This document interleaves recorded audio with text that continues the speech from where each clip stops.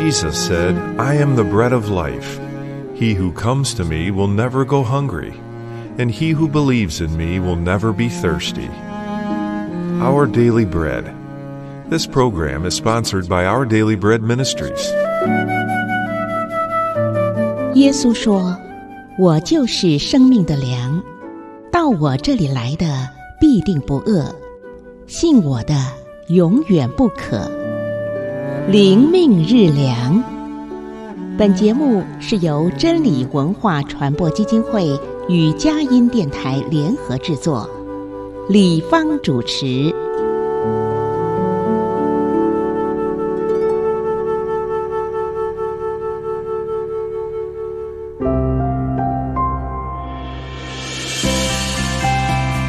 Welcome to today's devotional reading from Our Daily Bread. I'm Tom Felton, and I titled today's encouragement, Drawn by Disaster. In 1717, a devastating storm raged for days, leading to widespread flooding in northern Europe. Thousands of people lost their lives in the Netherlands, Germany, and Denmark. History reveals an interesting and customary, for that time, response by at least one local government. The provincial authorities of the Dutch city of Groningen called for a prayer day in response to the disaster. A historian reports that the citizens gathered in churches and listened to sermons, sang psalms, and prayed for hours. The prophet Joel describes an overwhelming disaster faced by the people of Judah that also led to prayer. A massive swarm of locusts had covered the land and laid waste its vines and ruined its fig trees. As he and his people reeled from the devastation, Joel prayed, Lord, help us.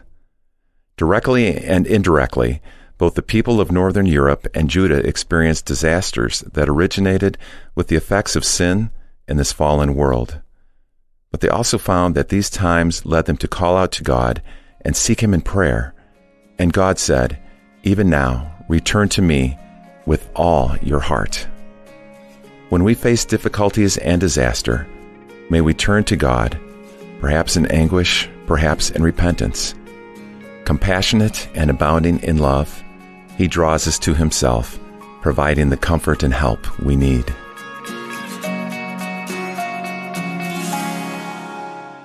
Today's Our Daily Bread devotional scripture reading is from Joel chapter 1, verses 1 through 7 and 19 through 20.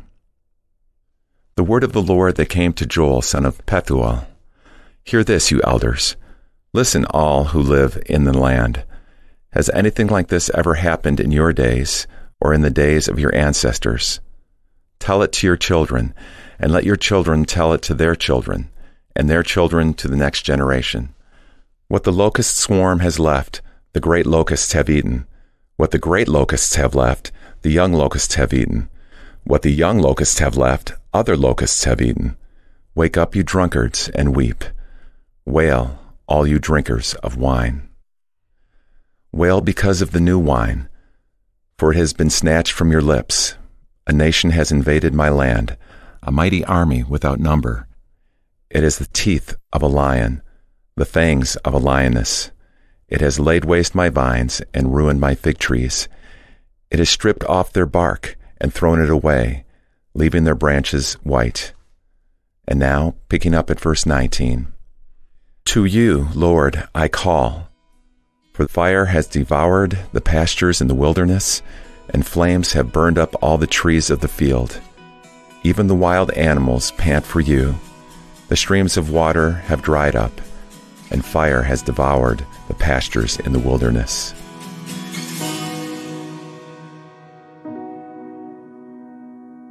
Let's pray. Heavenly Father, thank you for being there when we face the harsh realities of life. Help us to call out to you and find the hope, healing, and refining you alone can provide in the face of difficulty. In Jesus' name we pray. Amen.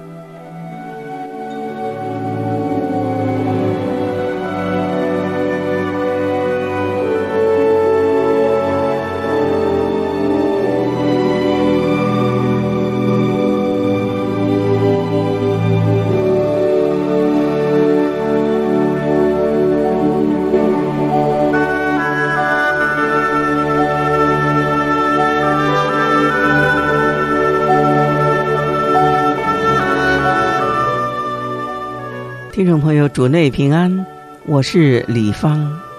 在今天的黎明日粮，我们要借着旧约的约珥书第一章的一到七节，还有十九到二十节，来思想我们今天的主题：灾难中的祷告，灾难中的祷告。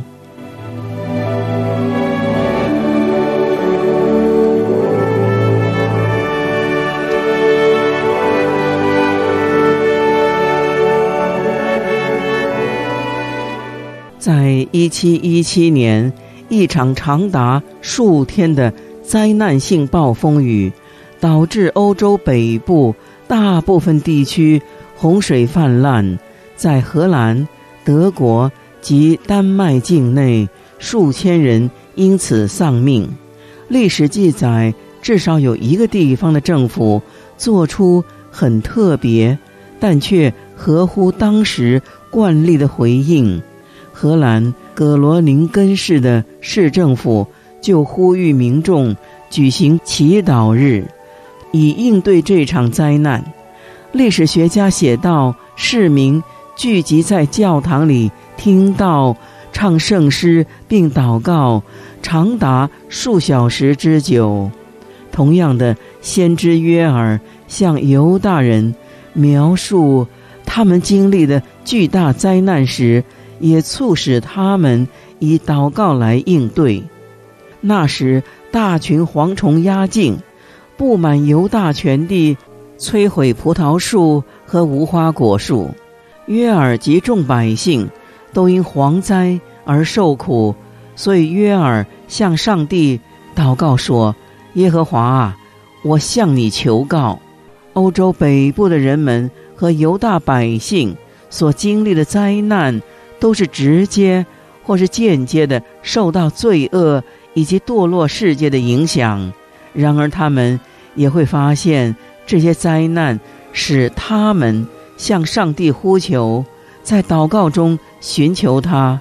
因此，上帝说：“虽然如此，你们应当一心归向我。”在面对困境与灾难的时候，愿我们都能求告上帝。或许带着悲苦，或许需要认罪悔改。这位满有怜悯与慈爱的上帝，会吸引我们归向他，并赐给我们所需要的安慰与帮助。为何人们常在面临灾难时呼求上帝呢？上帝如何用那些艰难时刻吸引我们归向他呢？我们要来到天父上帝的面前，当我们面临困境时，求父帮助我们，能呼求他，并得着唯有天父能够给予的盼望。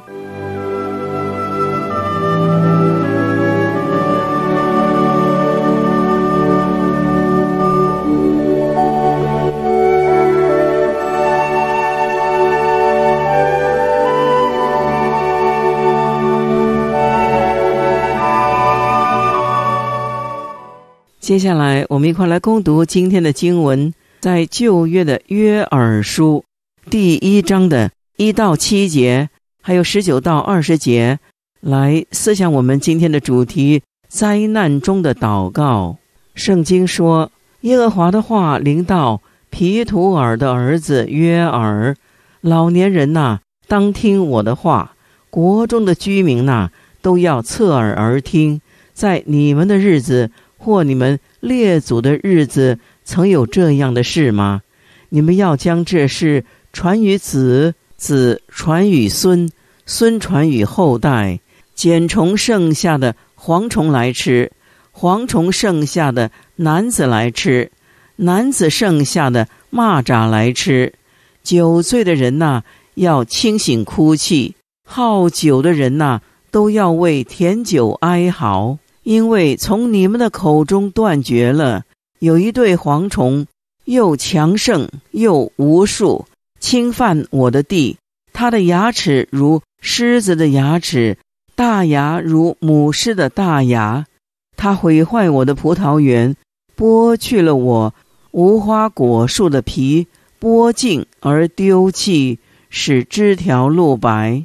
第十九节说：“耶和华，我向你求告，因为火烧灭旷野的草场，火焰烧尽田野的树木，田野的走兽向你发传，因为溪水干涸，火也烧灭旷野的草场。”我们的圣经就攻读到这里。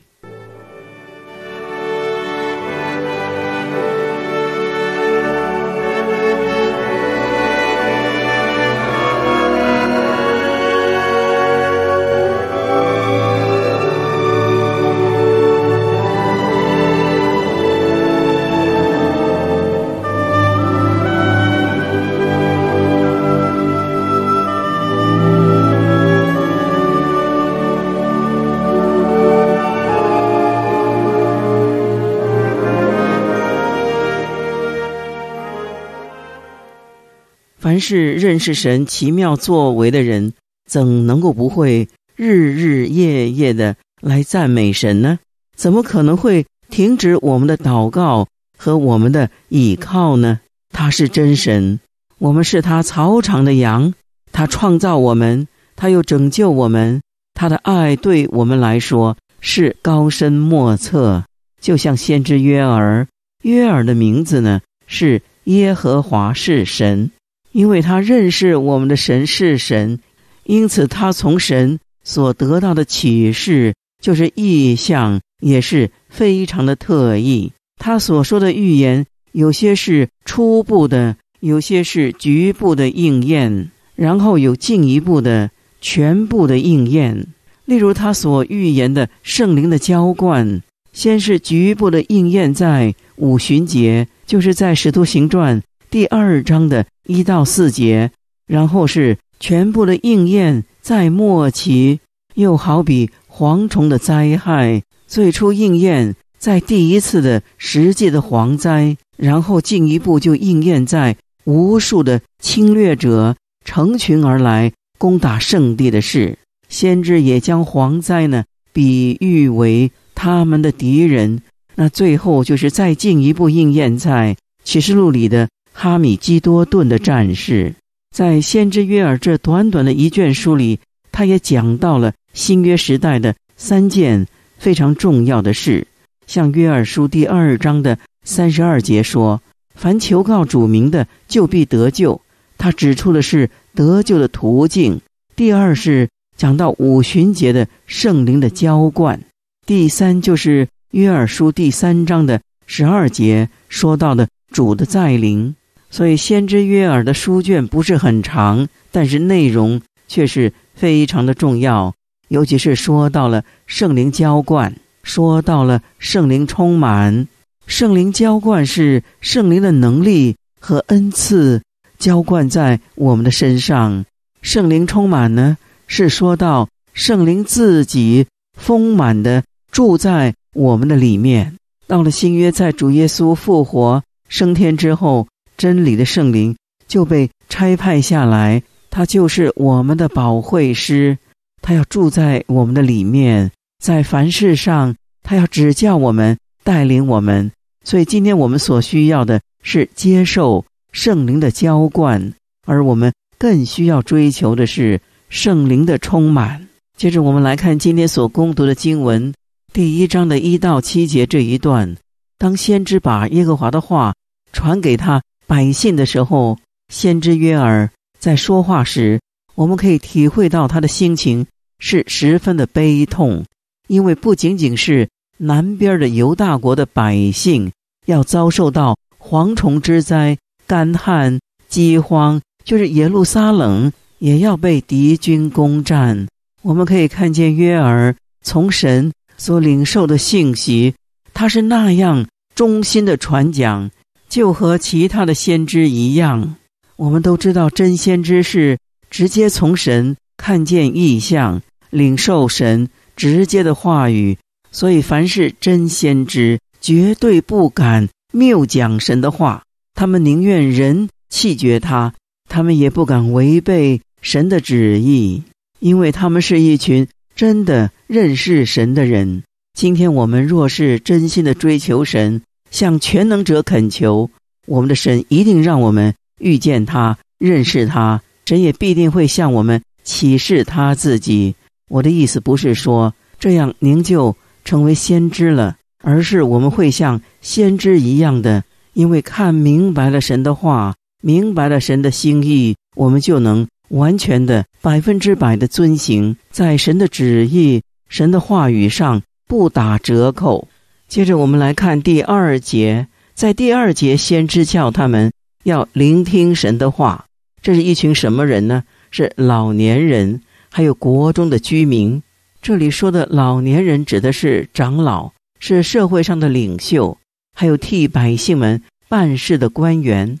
当然，先知的话也是对全国的人说的。他要他们把这件事，就是蝗灾的事，要传给他们的后代，因为像这样的灾难，就是先知所预言的灾难。先知要他们留心听，千万不要当耳边风，而且还要传给他的后代。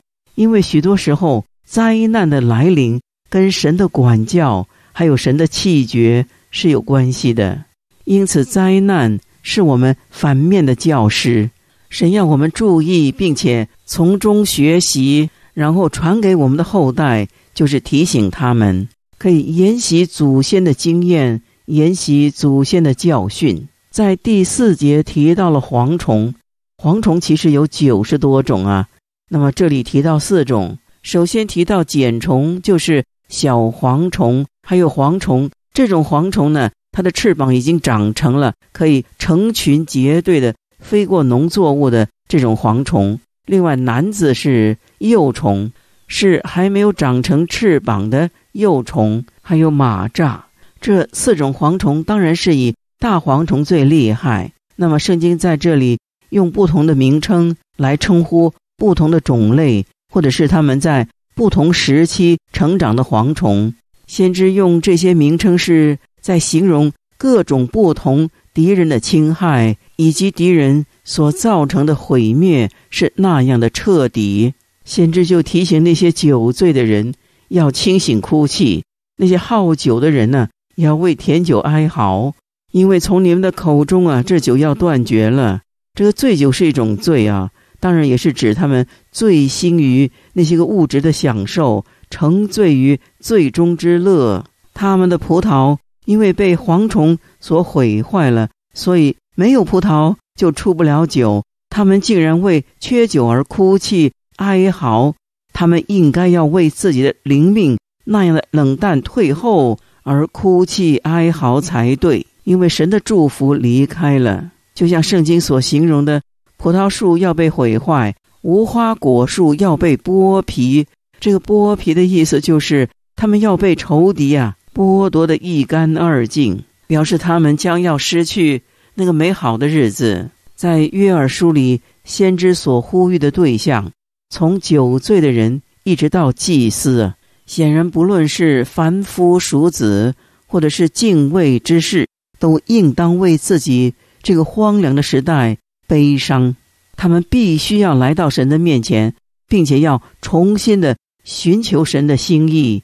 先知所带来的警告，并不是要让全国上上下下的人自卑自怜，活在茫然毫无希望的境况中，而是提醒他们。眼前的光景啊，只能够靠着神来面对。其实他们的国家所面对的敌人将是可怕的敌人，不会疲倦，而且是越来越强大，就是一心一意的要消灭他们。所以借着这个危机呢，神要他们重新的认识神在国家还有个人的生活当中它的重要性，依靠神来活，也是他们唯一的转机。是一个良机。从先知书里，我们更清楚的知道，我们的神从来没有放弃，在每一个时代当中呢，显示他的心意。因为他清楚的知道，人是软弱的，而且人容易活在自己的梦幻之中，因而忘记神所说的话。神的提醒是要他们来遵行神的旨意，以免受祸。因为神创造我们。又拯救我们，并不是要我们受苦。我们的神从来不打算让我们受苦的，他要让我们蒙福。所以，弟兄姐妹，在以前古时候，我们的神只能够借着先知向以色列人说话；但是今天呢，神是借着圣灵向我们每一个人说话。问题是我们有没有常常的留心圣灵在我们心中说话的声音呢？否则，神可能要借着人来向我们说话，管教我们。如果我们还是不肯侧耳而听，就是注意听，那么我们就难免会受到神自己的管教。聪明的孩子只要看见父亲的脸色，就知道自己做错事了；只有愚笨的孩子要人来证明他说错了什么，做错了什么。然而那个最愚昧，还加上悖逆，这样的孩子就难免会被人责骂鞭打。为的是要叫他醒悟，可惜犹大人他们享受着醉中之乐，叫也叫不醒，就像是酗酒、喝醉的人一样。所以神不止一次的让外敌侵入到他们的国家里，一直到全国沦亡。他们的敌人就像是无数的蝗虫那样，使他们最后还是被掳到了巴比伦，在巴比伦忍受了。七十年的丧国之痛，是饱尝了因为被逆神而自摘的苦果。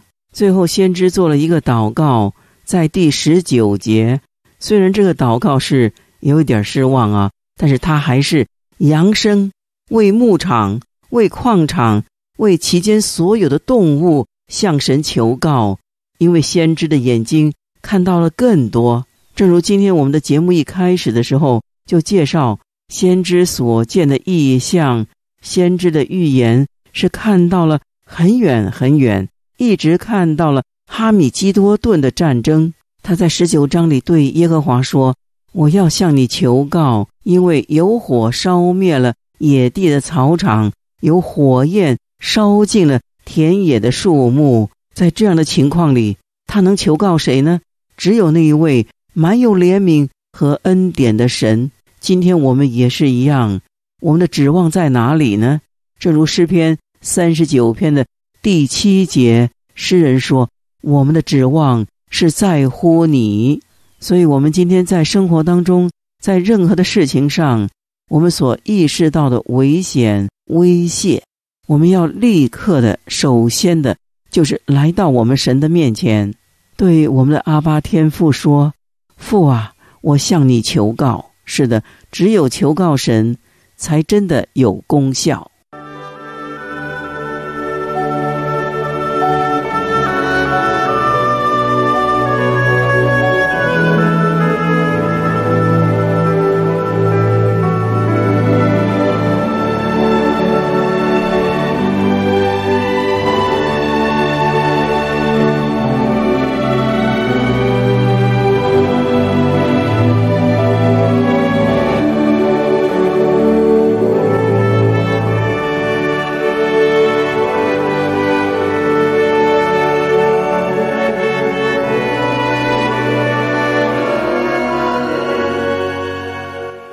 听众朋友，让我们同心的来到我们的父神面前。我们在天上的阿爸天父，爱我们的救主。主要是的，在苦难中，我们不会忘记你。我们要求你来帮助我们。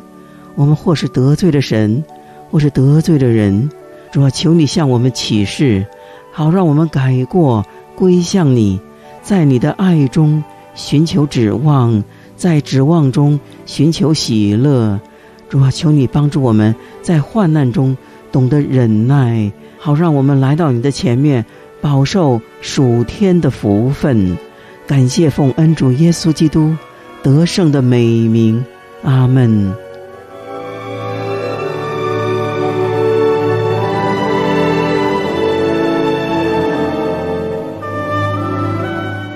今天我们的节目时间已经到了。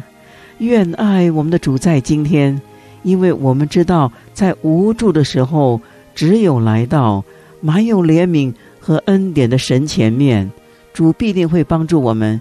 我们的求告他必垂听主也必赐福于您全家平安身体健康我们明天空中再会了。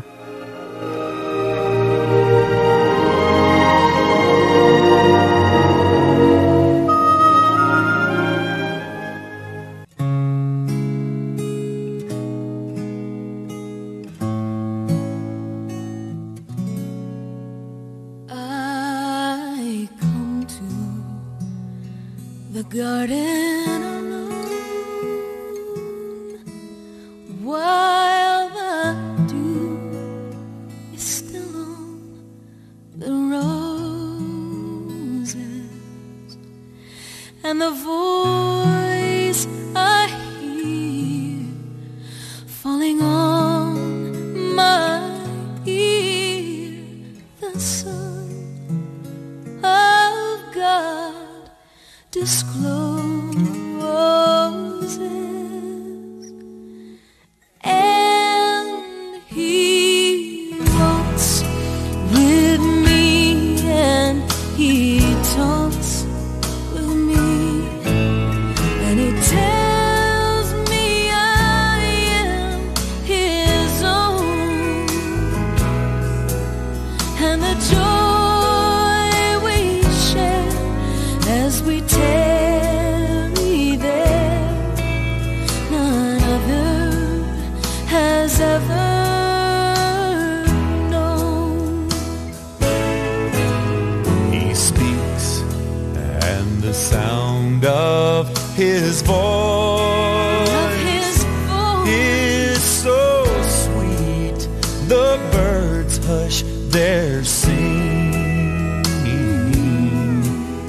and the melody